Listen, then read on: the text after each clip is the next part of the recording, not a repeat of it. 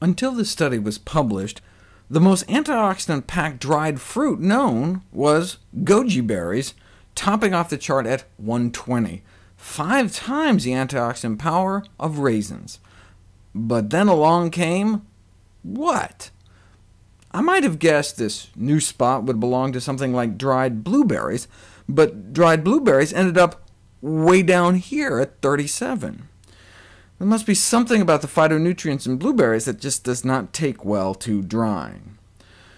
Just when goji berries were getting complacent, a newly available dried fruit has pulled ahead. Dried pomegranate seeds.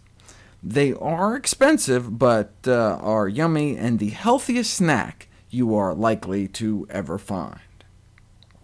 Now, just for trivia's sake, there are healthier, but good luck finding them.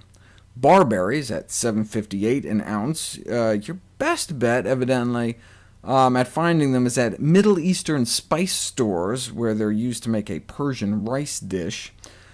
Let me know if you can find any, and uh, then send me some. And then, though I know it sounds like something straight from Dr. Seuss, but I'm not making it up, dried red whortleberries. 897. Rarely cultivated, but you can pick your own in the Arctic tundra. Rowan berries screw up my graph again. Look how pitiful our poor goji berries are looking right about now. And finally, way off the charts in a class of its own, top dog for healthiest snack on the planet Earth, dried Indian gooseberries.